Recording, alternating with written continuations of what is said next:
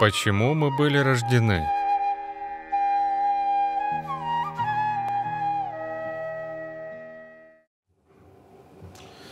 Просто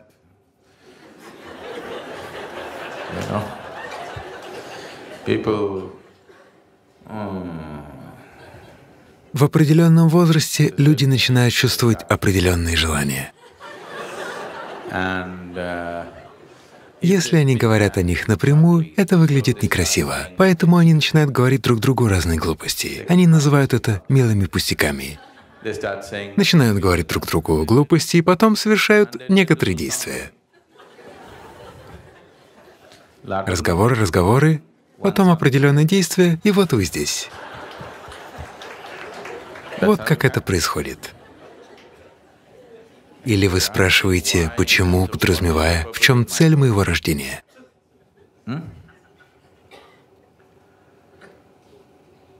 А что, если нет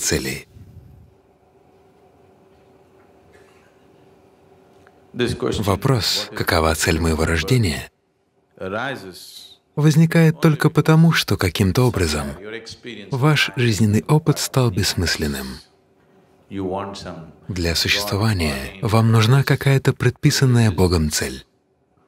Вы бы не задавали такой вопрос, если бы ваша голова разрывалась от экстаза, если бы каждая клетка взрывалась в экстатическом переживании. Вы бы не спрашивали, почему я был рожден. Не так ли? Вы сидите здесь, на этом чертовом сатсанге, ноги затекают,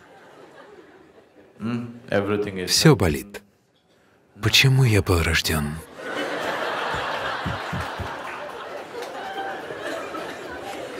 В чем смысл всей этой боли? Вот о чем вы спрашиваете. Если вас переполняет экстаз, вы не спросите, почему я родился, не так ли? Вы бы спросили? Нет. so first thing you have to do is you have to transform your experience of life Первое, что вы должны сделать, изменить свое переживание жизни.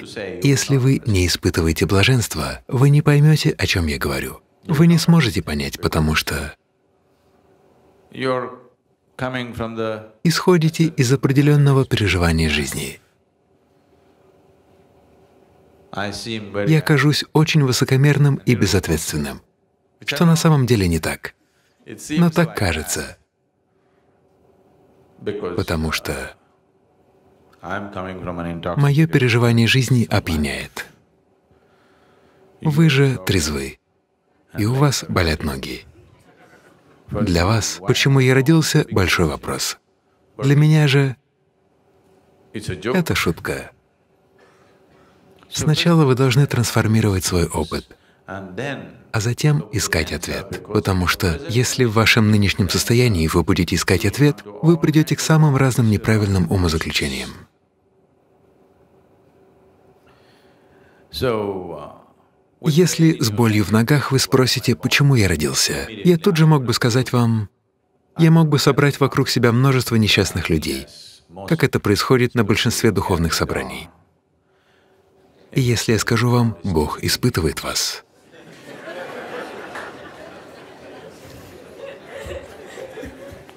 Бог испытывает вас, тогда вы не сдвинетесь с места, и не важно, что нога жутко болит. Нога кричит от боли, но Бог испытывает меня, я должен пройти испытание. Если вы не соответствуете собственным ожиданиям, это нормально, но можете ли вы не оправдать ожидания Бога? А что, если цели не существует? Ее и нет. Жизнь сама по себе является целью. Она не нуждается в других целях. Этот вопрос появляется потому, что вы не познали величие жизни, потому что вы еще не осознали безмерность того, что значит быть человеком. После того, как в вашу жизнь войдет такое переживание, вы не будете спрашивать «почему?». «Почему?» не имеет значения. Кого волнует «почему?» Это слишком замечательно, слишком фантастично и потрясающе. Кто будет спрашивать «почему?» Сейчас какие-то незначительные переживания, то тут, то там поддерживают вас. Все остальное слишком пресно. Встать утром, сходить в туалет, приготовить завтрак, поесть, сходить в офис. Один единственный момент успеха, один момент удовольствия, момент любви, момент радости. Здесь и там это поддерживает вас. Все остальное слишком пресно, не так ли? Разве это не так? Вот почему возникает такой вопрос.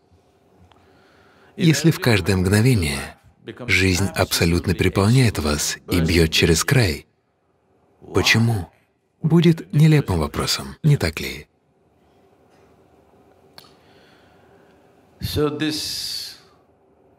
Мы мы можем привнести в вашу жизнь энтузиазм, заявляя «Бог испытывает вас» или «Бог целует вас». Вам скажут много всего. Говорю вам, в вашей жизни нет целей. Если